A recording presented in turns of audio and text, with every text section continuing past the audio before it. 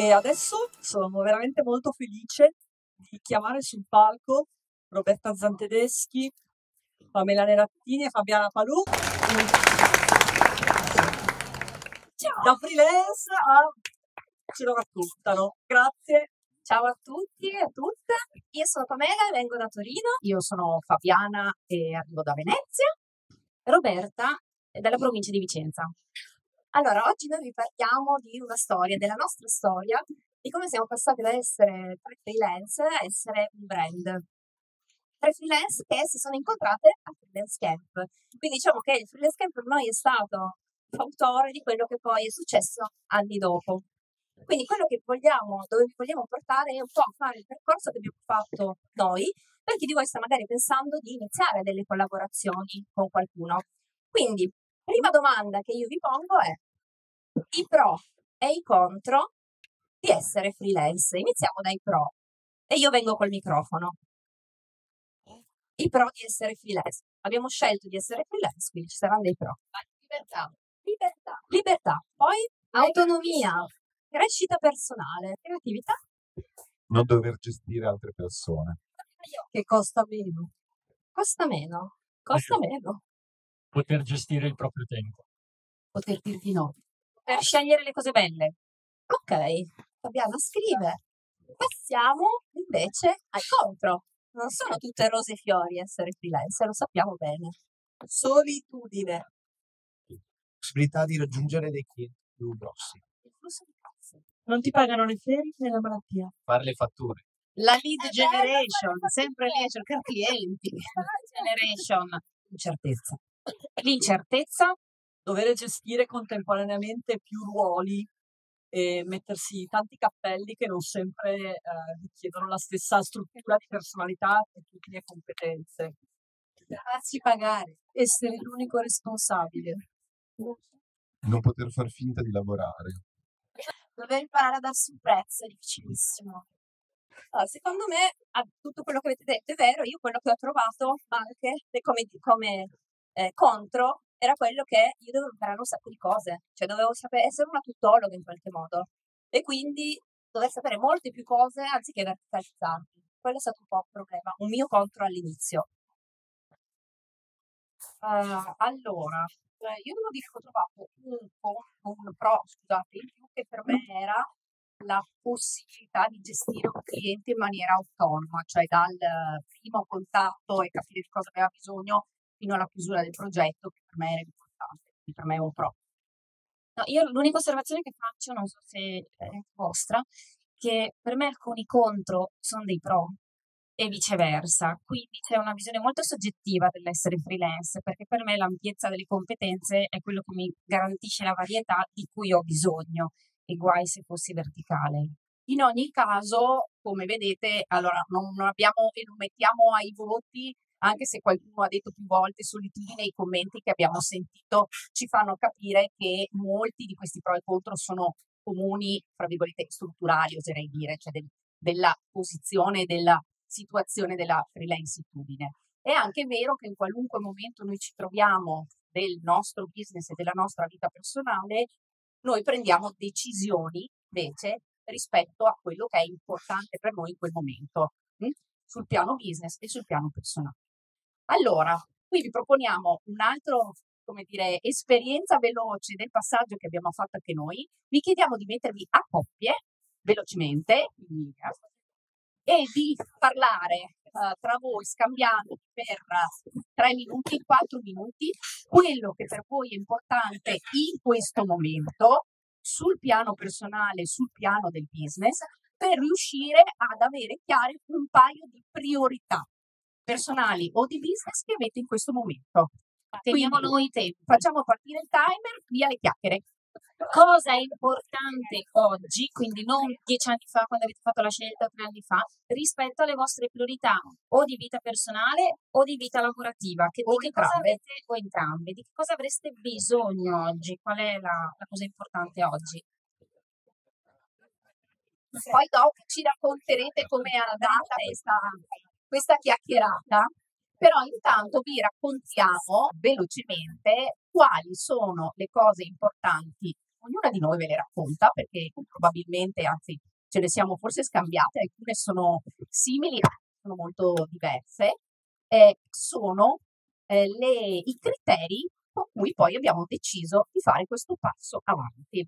Allora, io che ho il microfono in mano, per me c'era una necessità in questo momento per diverse regioni di alleggerire, e per alleggerire intendo n.000 cose, quindi alleggerire eh, nel senso di alleggerire responsabilità, alleggerire tempi, alleggerire tipi di attività, snellire servizi, divertirmi di più in questo momento della mia vita, più che in altri momenti ho voglia di divertirmi, eh, scambiare pensieri, prospettive, solitudine e poi, questo più lato personale, aspetti che riguardano il business invece sul fatto di voler alzare eh, prezzi e standard di servizio e scaricare a terra più valore con il cliente, eh, nel senso di poter diventare un consulente di riferimento e in qualche modo poter eh, presentare al cliente una, diciamo così, una gamma di servizi completi, quindi alleggerire i miei, ma comunque voler rispondere a tutte le richieste del cliente. Queste sono le cose per me importanti oggi, piano business. Io un po' di cose che ha detto Fabiana le, le sottoscrivo, quindi non le ripeto per non rubare tempo. Per me c'era proprio anche il bisogno, lo sentivo da un po', di rimettermi a camminare con qualcuno, cioè proprio di fare strada insieme, eh, perché questo mi garantisce l'alleggerimento, ma anche la capacità di portare più peso, che so che sembrano in contraddizione, ma in realtà secondo me sono molto collegate, mi garantisce il divertimento e eh, mi garantisce una possibilità di apprendimento che è differente da quella che ho quando studio o quando imparo qualcosa perché sto lavorando dal cliente. Cioè, confrontarmi ogni giorno ormai, da quasi un anno, con loro due, mi fa apprendere ehm, sia, a, pro, eh, sia tecnicismi, sia proprio lo stare in relazione e lavorare insieme. Uh, poi per me c'era una cosa molto pratica, io voglio liberarmi degli intermediari.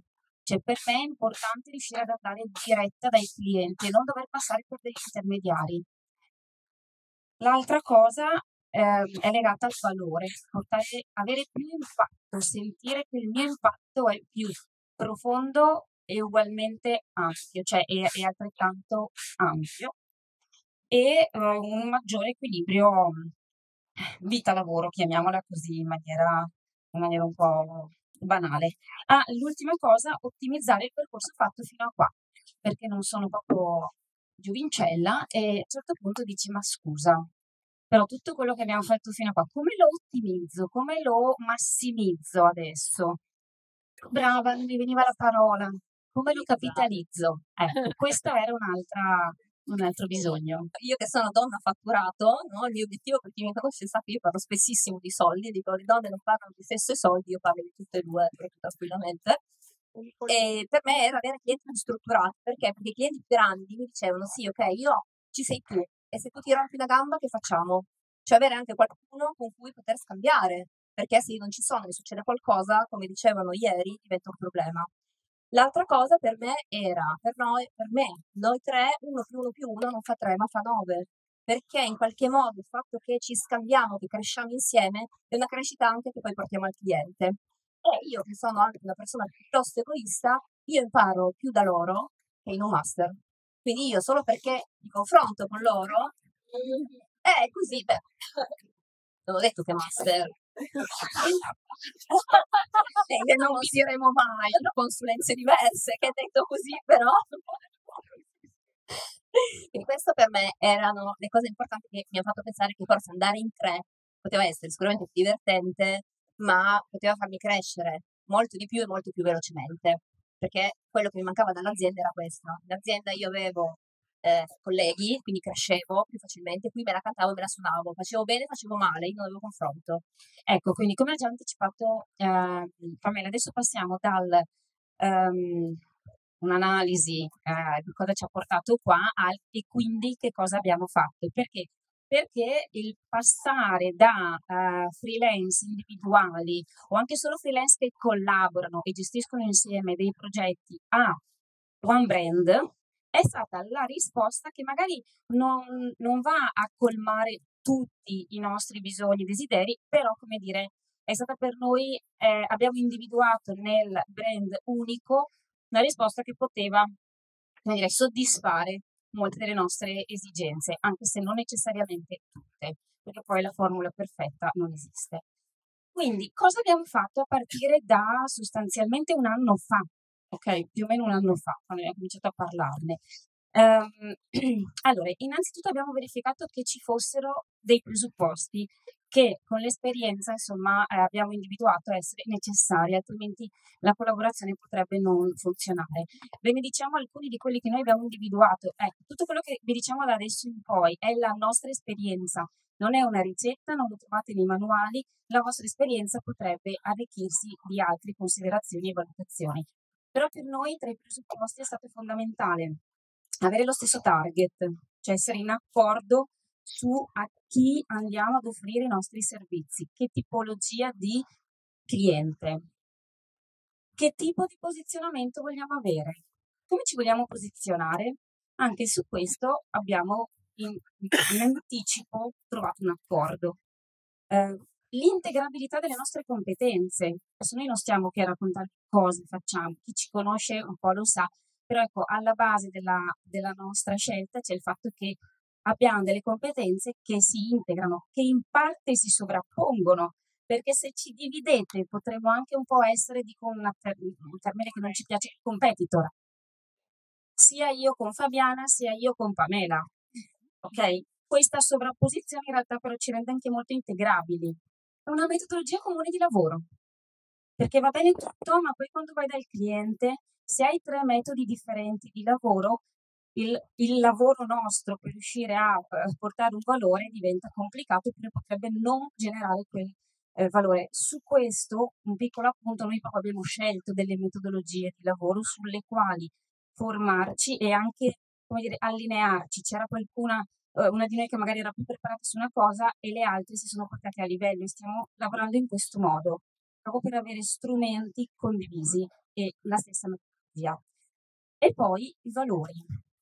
Cioè noi, vabbè, non l'ho detto, e ci piacciamo anche, perché ci piacciamo, andiamo d'accordo, ci vogliamo bene, ok? Però per stare più bassa, più profonda, valori, valori individuali, ok? Non sono tutti sovrapposti, però ce ne sono di sovrapposti, e valori lavorativi, professionali, che hanno a che fare con quell'impatto che vogliamo portare sul, nel nostro caso sul modo del lavoro. A questo punto noi noi e voi, se farete un percorso simile, dovete prendere, e abbiamo dovuto prendere delle scelte, fare delle scelte.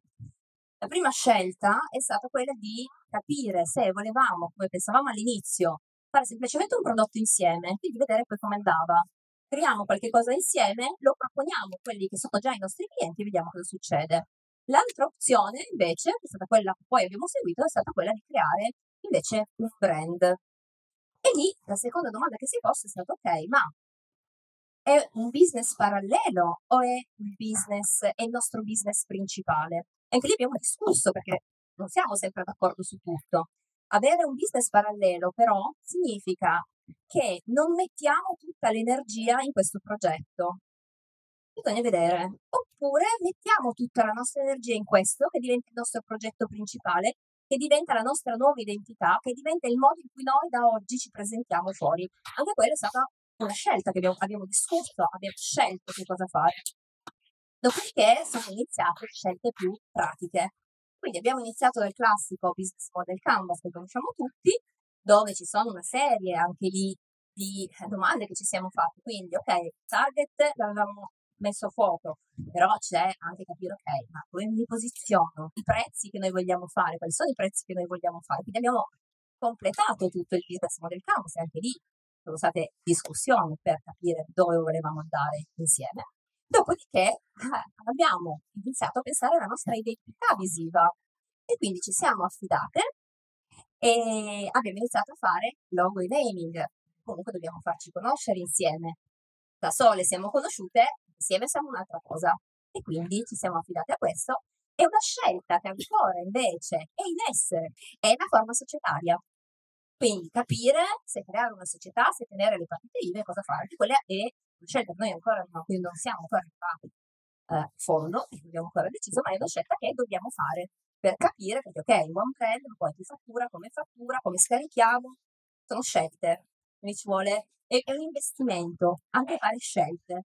Ok, quindi se dopo quello che vi stiamo raccontando vi abbiamo attivato qualche rotellina e qualche fantasia su collaborazioni o qualche passetto più in là con qualcuno, eh, abbiamo raccolto qualche punto d'attenzione per qualche incidente o difficoltà che abbiamo incontrato lungo il percorso, fatto qualche suggerimento anche. Allora, lavorare, ideare qualcosa con qualcun altro che sia qualcosa di piccolo o che sia qualcosa di gra- grosso richiede tempo. Quindi mettete in conto tanto tempo, non poco tempo vuol dire tolto da attività operative, tolto da attività commerciali, tolto da attività di delivery.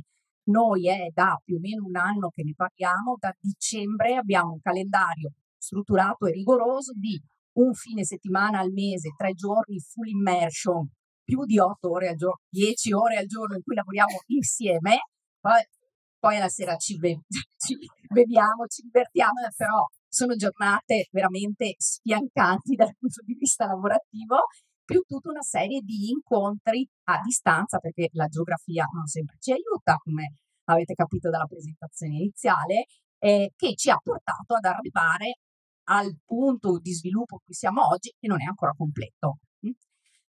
Secondo tema, non sempre siamo d'accordo, avete sentito questa frase è stata disseminata eh, un po' in giro.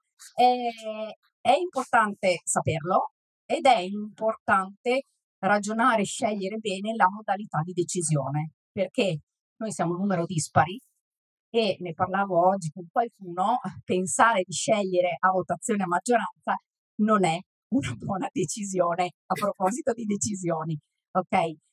Lavorare a un progetto comune significa ragionare su aspetti di flessibilità individuale, di negoziazione, quindi questo non sempre è un passaggio facile per tutti eh, e quindi insomma dobbiamo mettere in conto anche di ingoiare qualche rospo, mettiamola così, chi più, chi meno e su ambiti diversi.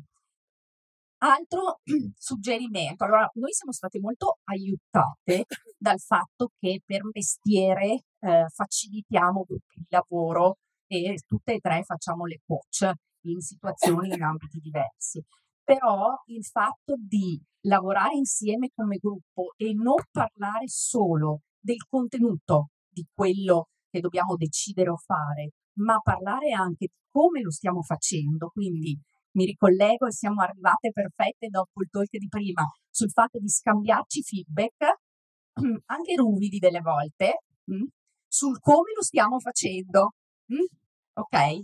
perché questo migliora di gran lunga il livello di sintonizzazione e facilita molto a proposito tutto quello che arriva dopo.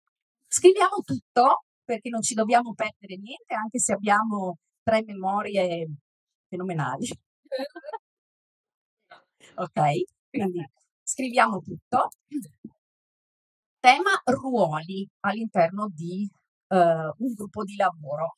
Allora, fino a questo momento direi quindi nella fase ancora di avvio i ruoli si sono configurati in maniera abbastanza naturale, assecondando un po' le, le caratteristiche di ognuna, ma arriva un punto, e questo è il momento per noi, in cui invece sui ruoli bisogna prendere delle altre decisioni e quindi scegliere che configurazione dare ai ruoli e definire i ruoli. Quindi è spontaneo fino a un certo punto, da un certo punto in poi diventa oggetto di decisione. E poi dico cose scontate, ma noi ci siamo divertite, ci divertiamo un sacco, parliamo tantissimo di come cambiare il mondo e di come migliorare il mondo, ma poi dobbiamo parlare anche di quanti soldi abbiamo. Quindi ci sono le rose, ci sono anche le spine, ma questo già lo sapete. Per me i soldi sono sempre rose. Anche quando non ci sono. Ok, allora, ultima uh, cosa e andiamo a chiudere anche perché Comunque di strada ne abbiamo fatte, cioè noi abbiamo un nome e abbiamo un payoff e adesso ve lo diciamo. Eh, prima, questa cosa del nome è fondamentale, cioè ti metti insieme e dici, vabbè, ok, però adesso noi cosa siamo? Posso svelare il nostro prenome? Sì, sì lo dico. no, perché per un po' finché non... No, allora noi ci siamo affidate alle slide queen per tutta la parte di identità. E infatti adesso chiamo intanto Bo mm, la Bobbola, Bobby ieri. Bobby. Venga Elena Bobbola, venga, venga. No, ma è giusto, tu sei parte di questo progetto dall'inizio. Sei una delle autrici. Eh? No, no, no, vieni, vieni, vieni, vieni. Prima che le slide queen eh, ci mostrassero delle proposte per il nome, noi comunque un'identità ce, ce l'eravamo data. Un altro per il gruppo WhatsApp. Eh, c'è anche, la, c'è anche Malù, c'è anche Malù, il santino della Malù. Comunque, pre, eh, pre ehm, slide queen noi eravamo occhi di gatto. Abbiamo ancora la cartella drive che si chiama occhi di gatto. C'era tutto di occhi di gatto, è che non potevi andare sul mercato con quel nome lì, se no era giusto. Vabbè, post occhi di gatto, siamo diventate Allora adesso vi presento, così faccio la presentazione a Valletta, eh, le Purple Dot e il loro payoff. Il loro payoff è connettiamo persone, strategia e processi. Poi ve la raccontiamo meglio, adesso non è Esatto. il momento del- dello spottone, ma ci faceva piacere coinvolgere eh, Elena perché ci hanno veramente aiutato tantissimo a ragionare, quindi poi nelle scelte, nel lavoro, nel tempo che abbiamo dedicato, tanto tempo l'abbiamo usato per rispondere a loro con puntualità, con precisione, rigore, e poi non arrivavano e ci dicevano questa risposta non è chiara, rifalla. Ed, era, ed è stato impegnativo e bellissimo. 3-4 mesi. Era, chi manda? No, ma guarda la Tanto lei non sente. basta finito. Per qualsiasi cosa siamo ancora grazie mille se volete gestiamo un momento per chi vuole domani